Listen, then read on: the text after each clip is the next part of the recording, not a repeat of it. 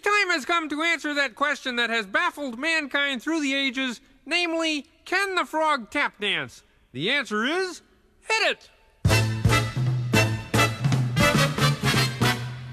Happy feet, I've got those happy feet. Give them a low down beat, and they begin dancing.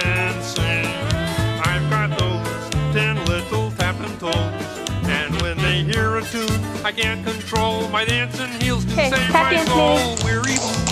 Can't get into my shoes because my shoes refuse to ever grow weary. I keep cheerful on an earful of And some arms. Get some arms. Cause I've got hap hap happy feet.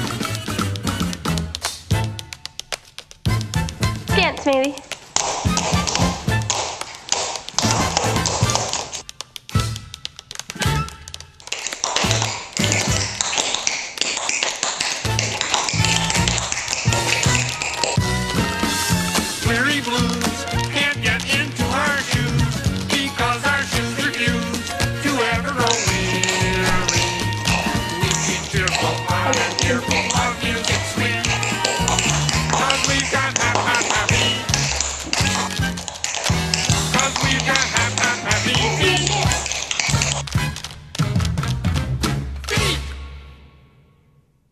You know, in the show that wasn't funny. True, true. But on a record, it doesn't even make sense.